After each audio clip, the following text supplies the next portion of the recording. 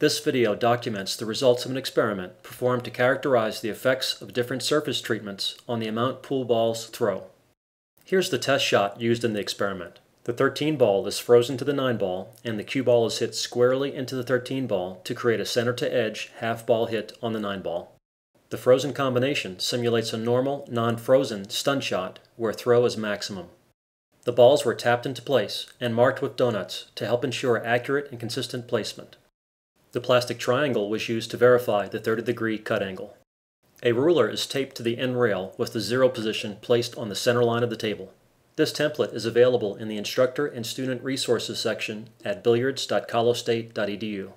With a straight shot along the line of centers, the 9 ball is not thrown at all and it heads straight up table. Notice how the stripe stays perfectly vertical when there is no cut angle or throw. Here, the zero point on the ruler isn't aligned perfectly with the straight hit direction, but this offset will be subtracted from the throw measurements when calculating angles.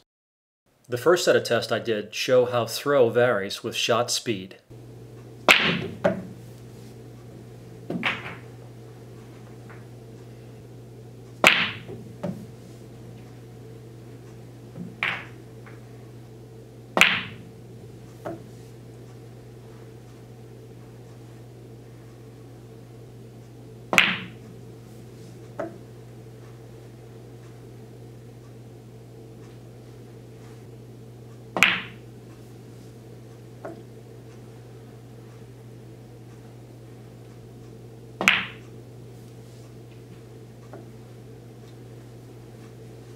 Notice how much spin gets transferred to the 9 ball when there is cut-induced throw. The stripe doesn't stay vertical as with the straight shot.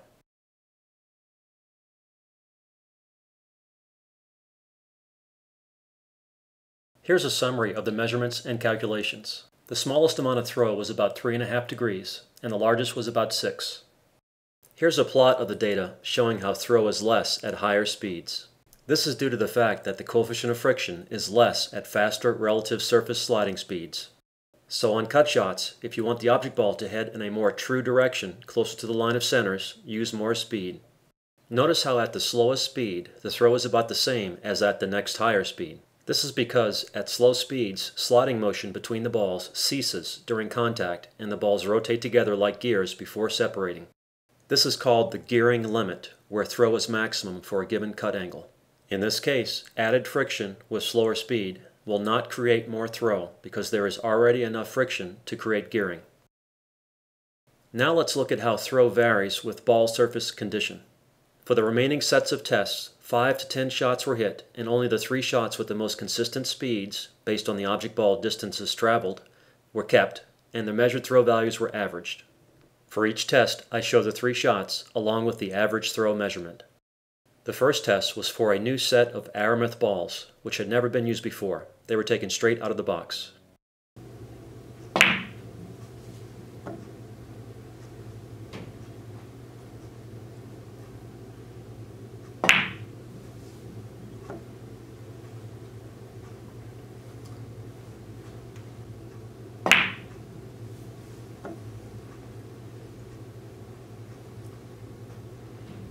Now let's dispel a myth concerning cling, also known as skid or kick. Cling is an excessive amount of throw, more than would be expected under normal conditions. Some people have suggested that a major cause of cling is static electricity resulting from the cue ball sliding across the tablecloth, for example during a stun or draw shot. To create as much static charge as possible, I held the ball with two pieces of rubber to insulate the ball from my fingers, and then vigorously rubbed the ball on a fold of tablecloth.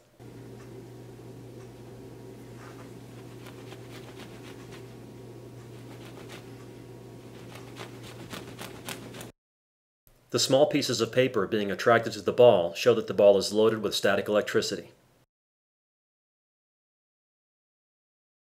The rubbing was done before each shot test.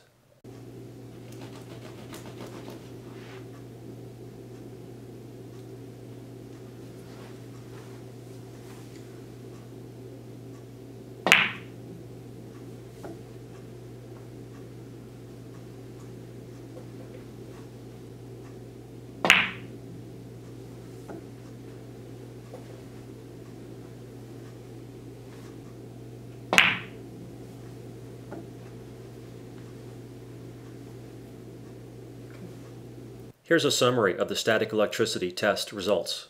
Static electricity alone definitely does not create cling, skid, or kick. The throw of the charged ball was actually less, although the difference was not significant and could represent experimental error.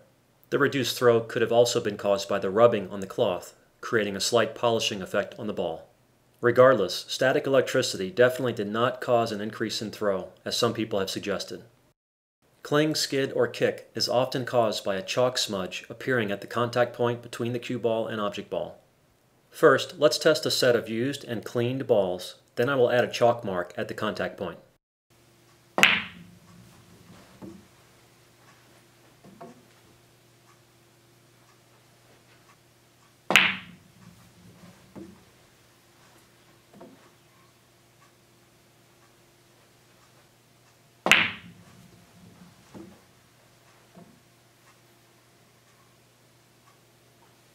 Before each of the following shots, I applied chalk marks to each object ball by striking each with a well-chalked tip.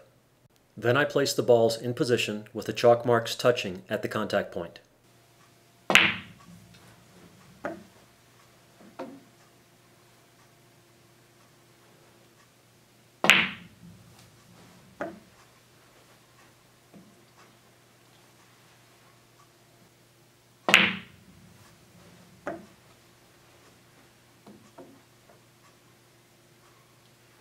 In this case, the used balls had less throw, 4.4 degrees, than the new out-of-the-box balls tested earlier, which threw about 5.8 degrees.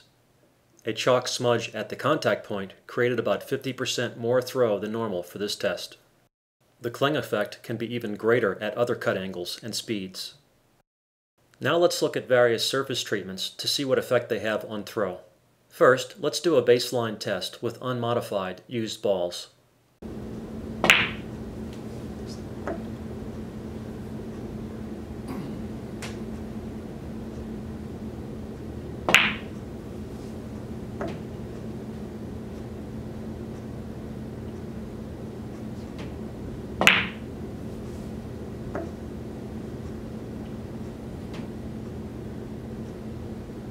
Now I've washed the balls with dishwashing liquid.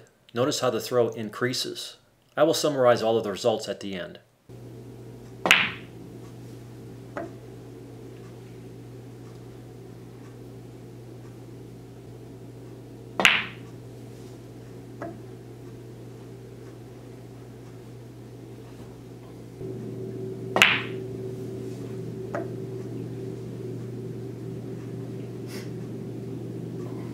Now I've cleaned the balls with an Aramith ball cleaner.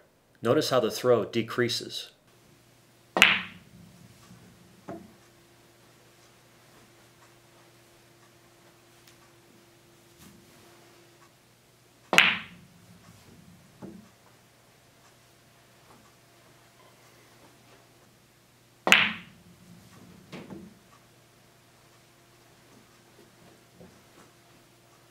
Now I've treated the balls with a super hard coat turtle wax. Notice how the throw decreases even more.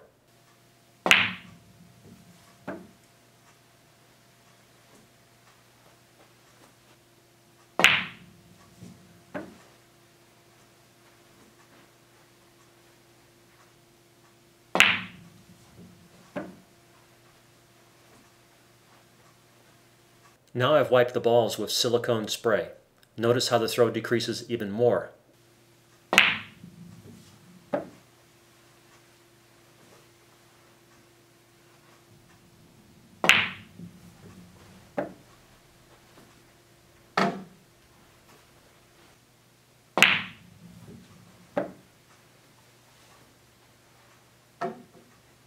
Now I've cleaned the balls with acetone. Notice how the throw increases dramatically.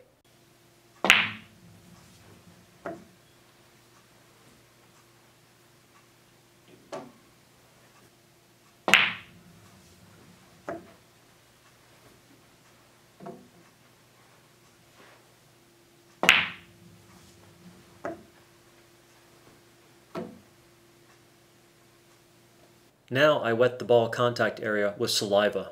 Notice how the throw decreases dramatically.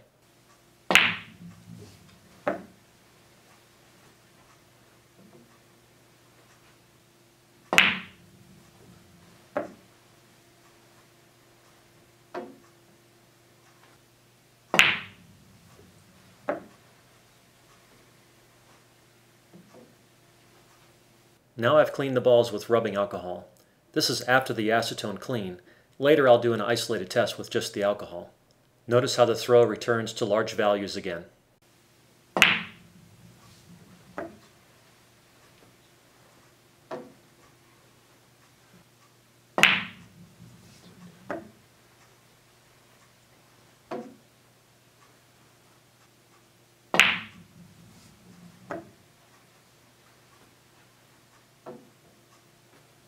Now I'll roughen the ball contact areas with fine grit sandpaper. Notice how the throw doesn't change much.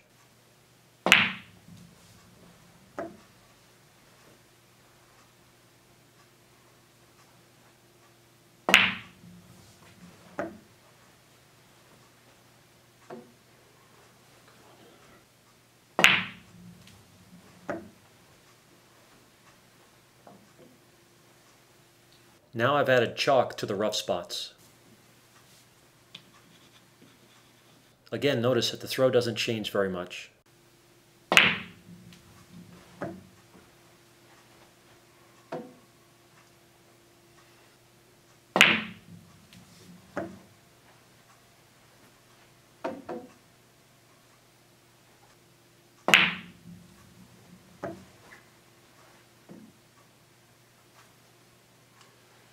Here's a summary of all of the results. Standard pool ball cleaners reduce throw some. Car wax can reduce throw significantly. Saliva and silicone spray can each practically eliminate throw. About 7 degrees seems to be the maximum throw possible for a 30 degree cut. This probably corresponds to the gearing limit discussed earlier. Attempting to create additional friction with sandpaper and chalk did not increase the amount of throw. It appears that the squeaky clean surfaces dishwashing liquid and alcohol create result in the most throw. Now I'm switching to a different set of balls and a 45 degree cut angle. With this set of tests, I decided to add an additional cue ball at the ghost ball position, frozen to the first object ball.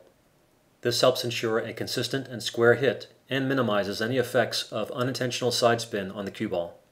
It also allows us to easily simulate the effects of different conditions on the cue ball to object ball contact point. First, let's look at how throw changes with speed at the steeper cut angle.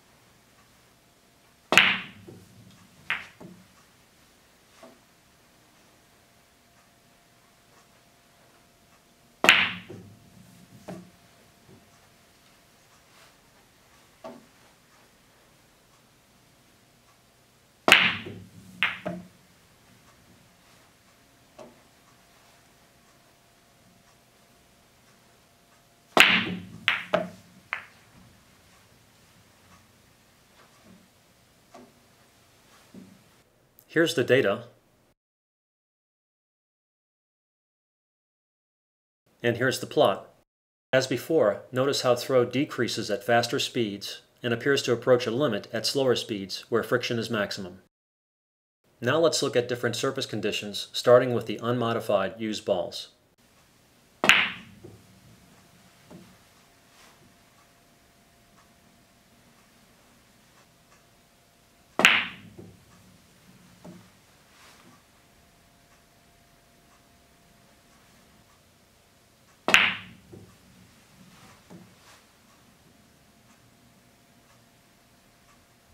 The first treatment is rubbing alcohol, so now we will see the independent effects of alcohol. Remember before we cleaned with alcohol after the balls had already been cleaned with acetone. Notice how as before the amount of throw increases dramatically. In this case, since the cut angle is larger than before, there is potential for a much larger increase in throw because it takes more friction force to gear the balls together.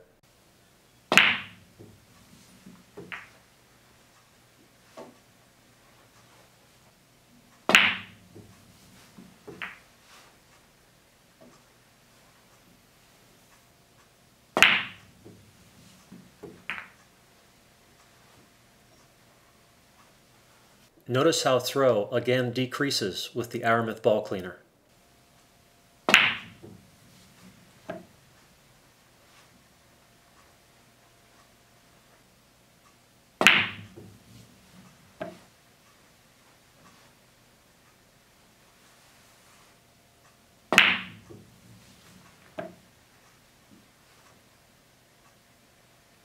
Now I've applied chalk to both contact points of the three frozen balls.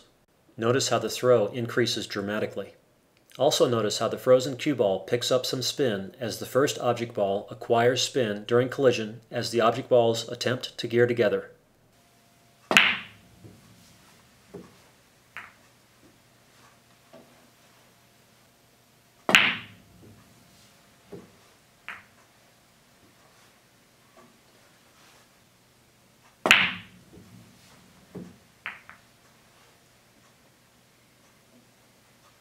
Now I've cleaned the chalk off the frozen cue ball and wet the cue ball object ball contact point with saliva.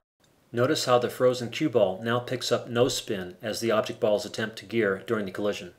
At first, I thought the amount of throw would be very different, but it doesn't change much. This sort of justifies the frozen combo test because it shows that there is no significant effect on throw when the cue ball is in contact with the first object ball during the collision, even if there is chalk between the balls.